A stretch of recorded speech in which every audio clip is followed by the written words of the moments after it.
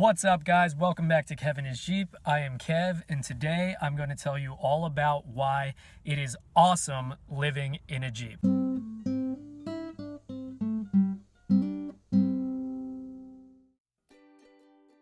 Last week, I posted a video about why it sucks to live in a Jeep. And it does suck to live in a Jeep. Sometimes, for some reasons. But overall, I love it. I think it's really awesome. I want to share with you guys why I think it's awesome. And if you have ever had any interest in traveling and living in your Jeep full time, I think you should do it. And I hope this video helps to inspire you to actually take the plunge and go out and do it. With that said, today I'm going to discuss the four things that make living in a Jeep awesome. Number one, guys, is that you can drive through anything. Any kind of weather, any kind of terrain. If you have a Jeep, you're gonna be able to go through it no problem. This becomes really important when you like to adventure and maybe not really know exactly where you're going because that's what I like to do. I'll find myself in brand new areas that I don't know anything about, that I haven't researched, and I can randomly end up on a dirt road, or I can randomly find my way into a really bad storm that I didn't even anticipate because I don't check the weather. And my worry about these things is usually very minimal because I drive a Jeep. I can drive through almost anything. This adds a lot of comfort to solo traveling because you don't have to worry so much about getting stranded. Number two, guys, is that people like it. The Jeep community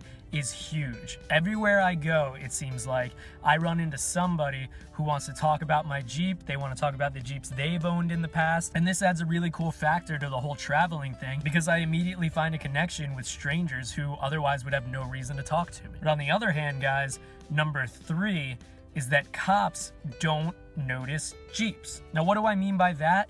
Well, an alternative to living in a Jeep might be living in a van or living in an RV. There's a lot of benefits to both of those choices. However, both of those things might stand out a lot more when you're trying to spend a night in certain places. A Jeep, of course, just looks like any regular car on the road. But if you're parking on the side of a residential road in an RV or a van, you're probably going to be noticed or at least have to worry about it a bit more than someone who lives in a Jeep like myself. This adds a lot to my peace of mind while I'm on the road because I don't want to worry that I'm drawing the attention of anybody that I don't want giving me trouble while I'm completely alone in brand new places just trying to get some rest. And number four, guys, is that Jeeps are tanks. They're super reliable. And if you know anything about the transmissions and the four liter engines in these things, you know that they're bulletproof. I've been on the road for three months. I've been in, I don't know, 20 states about, something like that.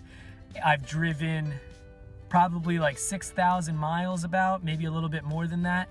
And I have had zero problems with my Jeep. And for the record, guys, my Jeep has 213 almost 214 now, thousand miles on it. Jeeps are awesome. You now know my four main reasons why it's awesome to live in a Jeep.